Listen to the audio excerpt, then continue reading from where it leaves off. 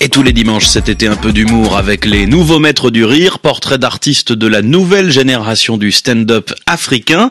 Aujourd'hui direction la Côte d'Ivoire pour un coup de projecteur sur l'ambassadeur Agalawal. Son septième one-man show s'appelle Soirée à l'ambassade et notre correspondant à Abidjan, Abdoulaziz Diallo, est allé à sa rencontre.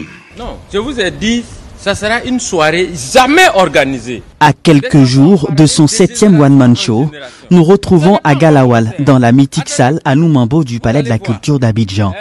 Celui qui revendique le titre d'ambassadeur de l'humour en Côte d'Ivoire est en pleine répétition. D'abord, on va commencer déjà par la mise en place. Révélé au grand public il y a 15 ans sur la chaîne nationale, Agalawal ne cesse d'offrir des moments de fou rire aux Ivoiriens et même au-delà des frontières.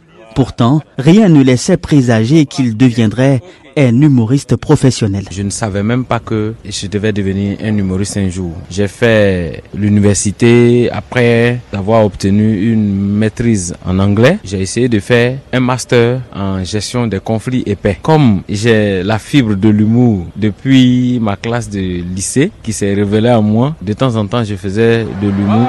Quand tu as l'argent dans la vie, tout le monde te respecte. C'est bizarre, mais même quand tu dors, tu as l'impression que tes rêves sont en couleur. Et pour arracher le sourire aux autres, l'ambassadeur Agalawal ne manque pas de sources d'inspiration. C'est l'actualité, c'est la vie, c'est le quotidien. En tout cas, tout ce qui tourne autour de nous m'inspire. C'est un avantage pour moi d'avoir une famille et des enfants même à la maison. Avec les scènes de ménage de madame et autres, très souvent dans les spectacles, ce sont ces genres de choses-là qu'on exploite. Ce sont ces sujets-là qui sont beaucoup appréciés par le grand public.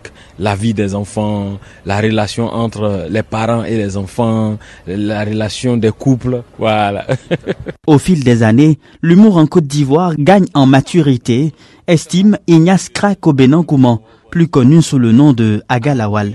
Néanmoins, relève-t-il, les acteurs du secteur rencontrent certaines difficultés. C'est pas facile, il faut le dire, relativement quand tu prends le coût des salles, quand tu vas payer la salle, quand tu vas payer tout ce qui est technique, euh, les acteurs même qui t'accompagnent, tout ça, après tu te retrouves pratiquement avec rien quoi. Je n'ai pas dit qu'on doit nous les donner gratuits, mais à mon avis, on doit essayer d'étudier la question afin que nous autres qui sommes notre auto-employeur, qu'on puisse arriver à gérer efficacement nos projets. C'est après l'entrée du voisin.